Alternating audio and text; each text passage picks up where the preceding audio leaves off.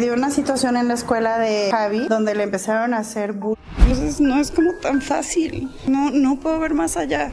No, no tienes la oportunidad de vivirlo en su momento. Me empecé a sentir triste. No sé cuál es el consejo de la terapeuta. Estoy esperando a la sesión. A dos años de su partida, la lamentable pérdida de la vida del actor Javier Ortiz continúa marcando el mundo del espectáculo y también la vida de su viuda Carisa de León y de su pequeño hijo Javi. Y es que recordemos que el recordado Javier Ortiz desafortunadamente fue encontrado sin vida en su domicilio en Guadalajara, y según las investigaciones del momento arrojaron que el actor había decidido quitarse la vida a causa de una profunda tristeza que él padecía. Sin embargo, a pesar de que su familia ha tratado de seguir adelante con su vida, este hecho tan desafortunado la ha marcado por completo. Y ahora parece que la situación con el pequeño hijo de Javier Ortiz se ha complicado mucho, pues justamente ha expresado su deseo de querer irse con su padre. Es por eso que ahora, a dos años de su partida física, en un reciente encuentro con los medios de comunicación, Carisa de León estuvo mencionando que su hijo había atentado contra su propia vida en un momento de desespero por querer ver a su padre. Tuvo una situación donde puso su vida en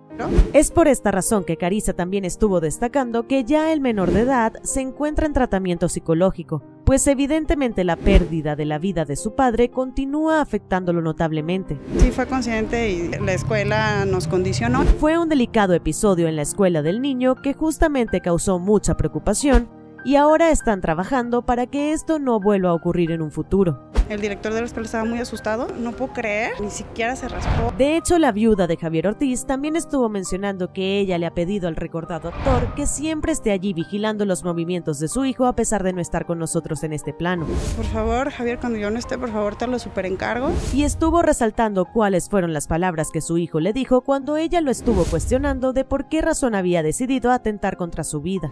Cuando platicamos me dijo, pues es que yo quiero ver a mi papá. Y también estuvo mencionando parte del tratamiento que su hijo estuvo recibiendo para salir adelante de esta situación, destacando entonces que Javi tiene que tomar baños de sol, realizar ejercicio, convivir con otros niños de su edad y además también tiene de apoyo a unos perritos que la alertan ante cualquier situación. Ha estado medicado, tiene que tomar baños de sol, hacer ejercicio por salud mental. Por su parte también Carissa estuvo mencionando la ayuda que ha estado recibiendo por parte de la agrupación Garibaldi y mencionó que Sergio Mayer ha estado siempre pendiente todo el tiempo de ella y de su pequeño hijo, a quien además se ha encargado de apoyar con múltiples consejos.